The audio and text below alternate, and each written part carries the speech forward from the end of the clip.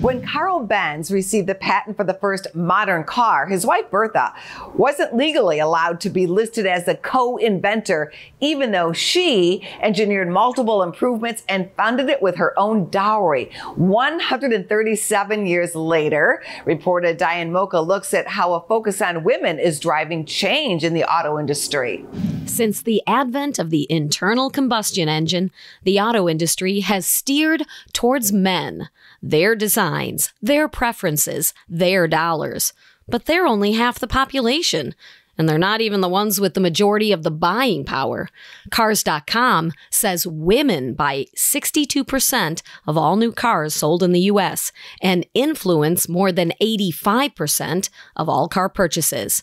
So car makers are revving up new ways to attract them, from ads appealing to soccer moms and female executives to the locations and features of charging stations for electric vehicles popping up across the country.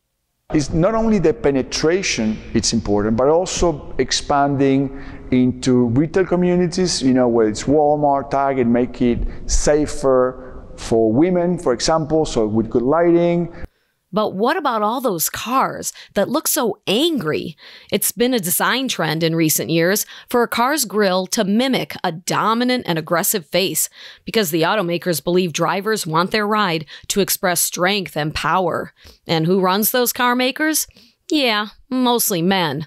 Women are only about 25% of the auto manufacturing workforce. But here at Business First AM, Angela Miles runs the show, and she told Volkswagen CEO Pablo Di Si that the mean look of some vehicles may be repelling the ladies.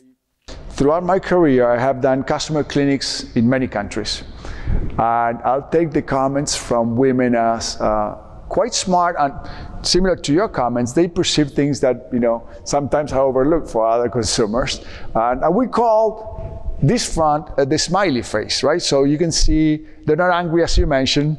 So they put a smile on your face, and uh, uh, you know we as a company we always do customer clinics, and we're going to be aligned with the consumers. As car makers become more aligned with female consumers, they recognize reliability, safety, and affordability are more important to the majority of their buyers than the ruggedness of horsepower and the technology behind a car's high speed handling.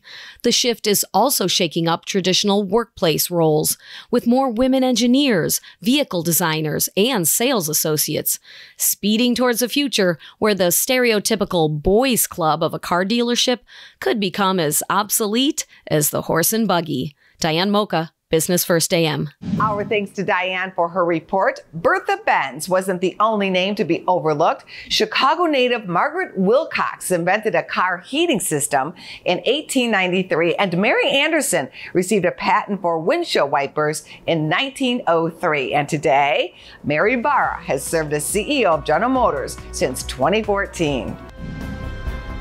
Go to businessfirstam.com for where to see our show on TV